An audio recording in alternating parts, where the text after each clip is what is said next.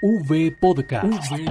Nuestra gente, historias para contar. Un podcast dedicado a las experiencias de vida narradas por sus protagonistas. V Podcast. Escúchenos y pase la voz. V Podcast.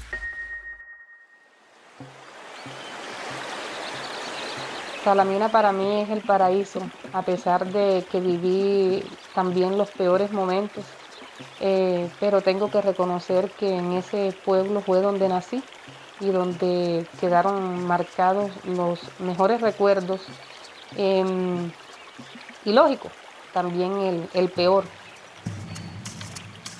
Al norte del país, en el departamento del Magdalena, yacen las aguas abundantes y pausadas del río Magdalena, en el municipio de Salamina, lugar donde nació Liana Rocío Pavón Fontalvo. Mis padres eh, son nacidos también en Salamina, Magdalena, Em, mi madre em, se llama Lina Fontalvo, quien gracias a Dios todavía vive.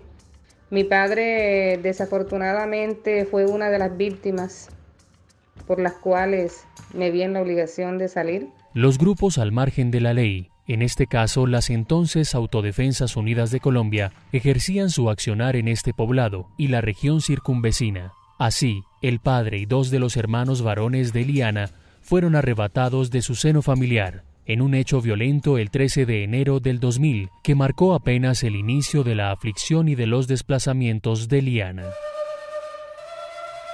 A partir de ese momento mi vida cambió por completo, no fue la misma.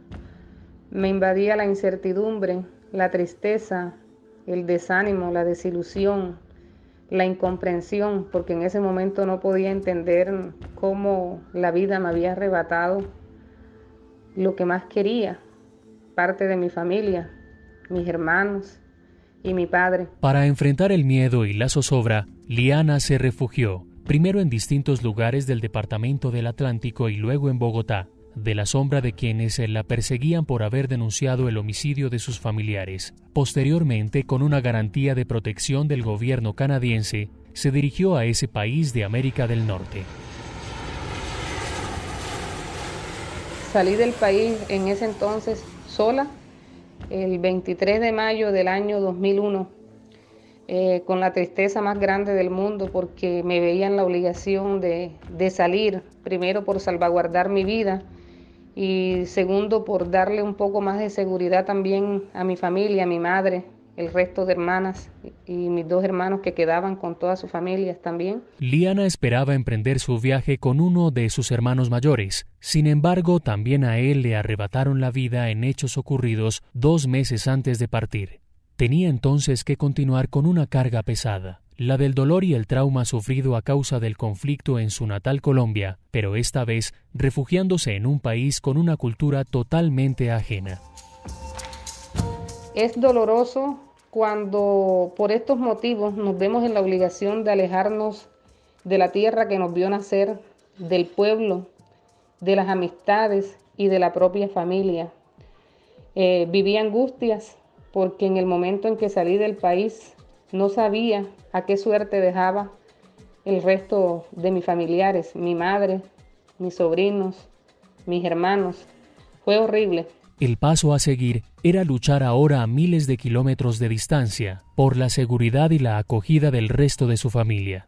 Al cabo de unos meses lo consiguió, pero solo en el caso de algunos, y no todos, los familiares que desearía tener cerca, como sus dos hermanas que permanecen en Colombia. No es fácil, pero pero tomé fuerzas, fuerzas porque eh, tenía ideales, en esos momentos pensaban que tenía que hacer eh, lo posible para poder ayudar a mi familia, ayudarles a que salieran también del país y a verlos con vida. En ese entonces, a sus escasos 21 años de edad, Liana empezó a aprender francés y a estudiar asuntos migratorios con apoyo del gobierno canadiense. Años más adelante, el giro que dio su vida se convirtió en detonante para recuperar la esperanza y la sonrisa. Lo que me ha ayudado para subsanar, para aliviar, para sentirme un poco mejor, Le podría decir que con el tiempo, em, con el tiempo tuve, a ver, en el año 2006 tuve mi primer hijo, eh, Luis Jeremí.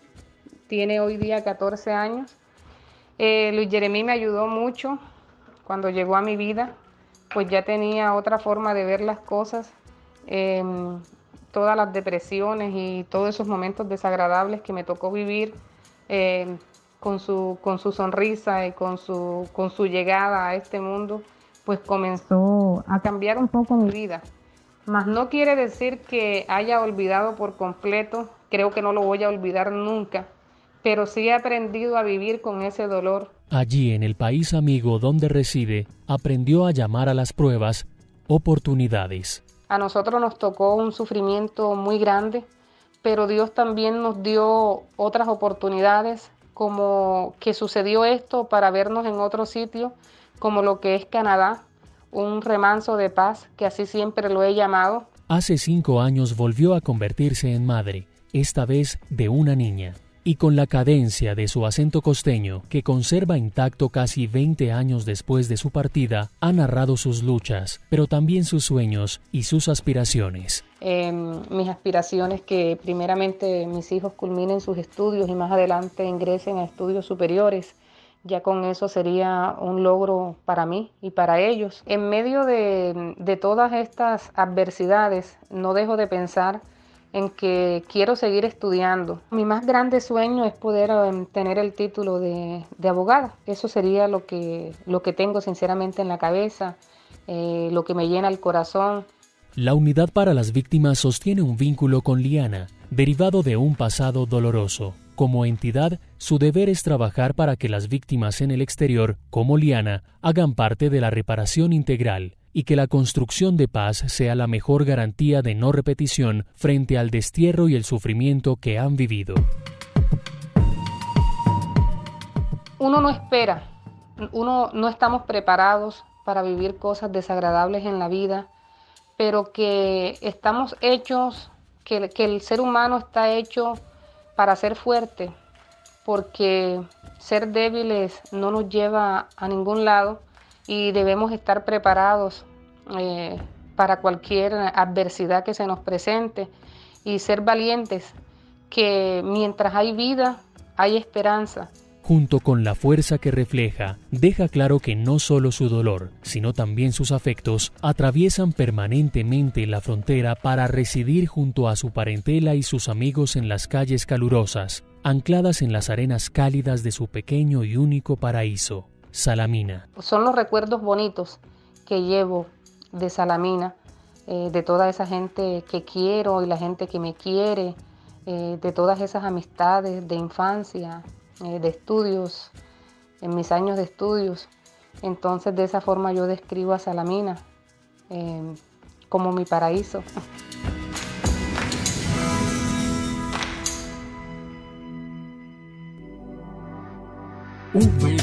Nuestra gente, historias para contar.